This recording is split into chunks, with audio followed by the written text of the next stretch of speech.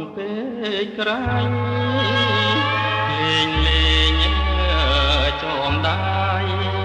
អូនហើយនឹងបង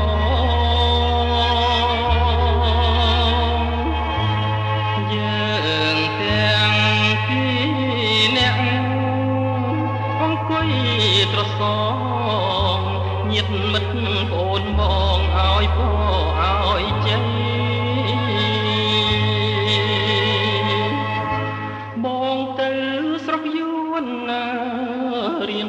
យុទ្ធសាស្ត្រ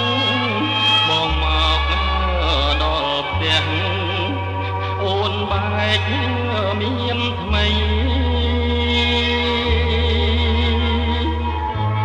អូនយករូបគេគេជាមន្ត្រីធ្វើមិនដេចរូបប្តីថាណាំងគុលតោ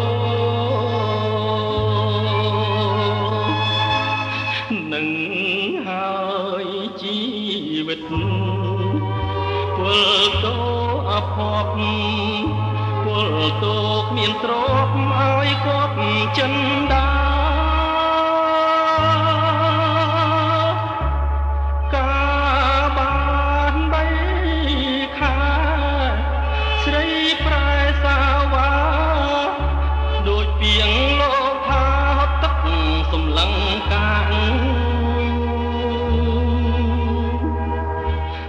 តែណាហើយរឿងនឹងទុកមួយឡែកជាប់រឿងស្រីផាត់ប្រងជារឿងធម្មតា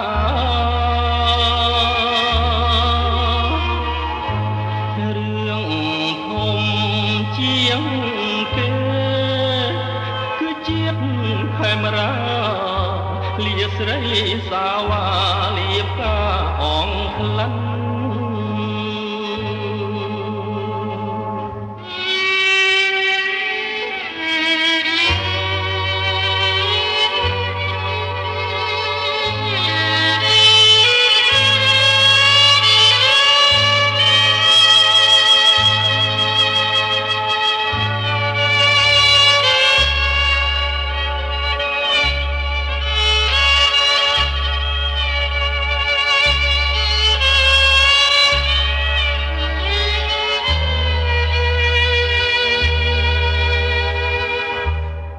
ណាហើយរឿងនឹង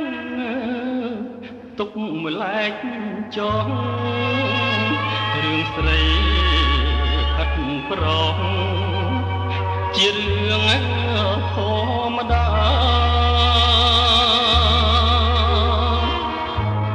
រឿងធំជាងគេគឺជាតិខេមរាលា ស្រីសាវារៀបការអងក្លិន